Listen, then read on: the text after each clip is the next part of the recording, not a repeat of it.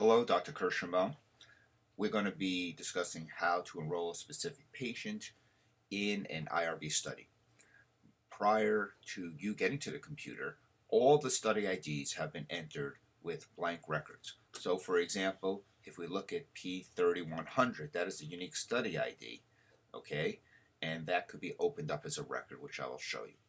You have a list of all the study IDs on either electronic or a piece of paper. So let's assume a patient comes in and the patient's name would be stick test.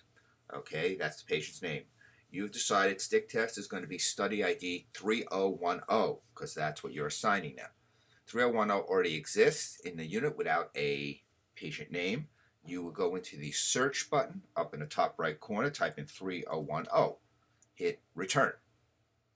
You will see 3010 comes up. You hit the arrow button here, and up comes the blank record. But the study ID is something that, that you will not be able to change. You will put the patient's name in there, stick test. It'll be Bob stick test. Date of birth, you will enter.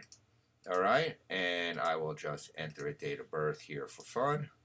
Okay, there, there may or may not be an institutional ID. The surgeon would be Jeff Stickney.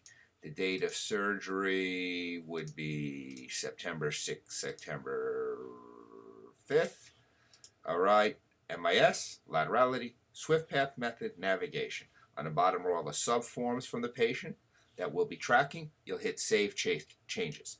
Now, Bob Stick Test has been assigned study ID 3010.